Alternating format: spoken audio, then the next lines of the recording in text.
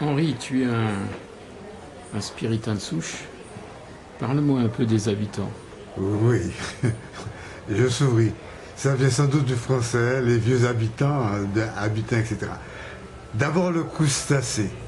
C'est une sorte, il faut associer deux idées. L'idée d'ancienneté et l'idée de sagesse, aussi l'idée de connaissance. Les habitants, hein, celui qu'on va pêcher, qu'on mange, c'est une sorte de patriarche du fond des eaux.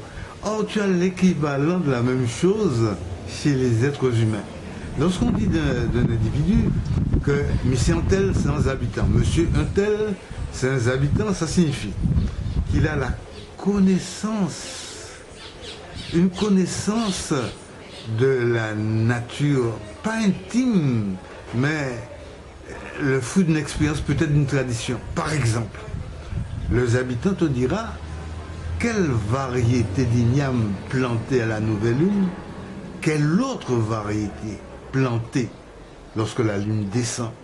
Les habitants te dira, par exemple, si telle terre est exposée très longtemps au soleil couchant, elle devient chaude, trop chaude pour les cultures. Alors, tu vas y planter des cacaoyers pour que ça donne à la terre de la fraîcheur.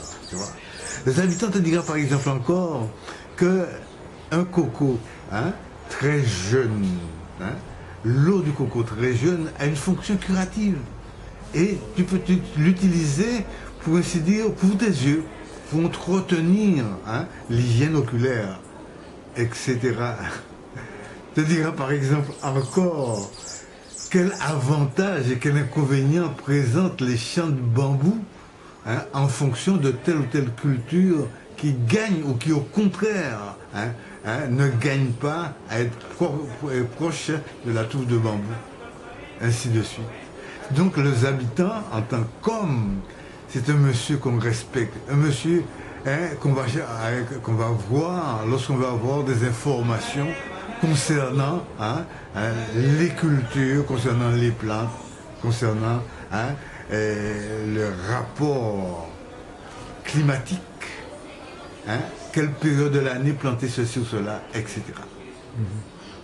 Et est-ce que tu penses que c'est utile pour l'avenir, finalement, ces habitants? Est-ce qu'ils n'ont pas quelque chose à, à, nous laisser, à nous les jeunes? Je pense que si jamais cette connaissance véritable qu'ils ont si elle n'est pas transmise, elle sera perdue. Et ce serait dommage. Parce qu'il faudrait pratiquement réinventer une sagesse qui a été transmise, expérimentée, vérifiée avant d'être communiquée. Alors, la réponse est claire.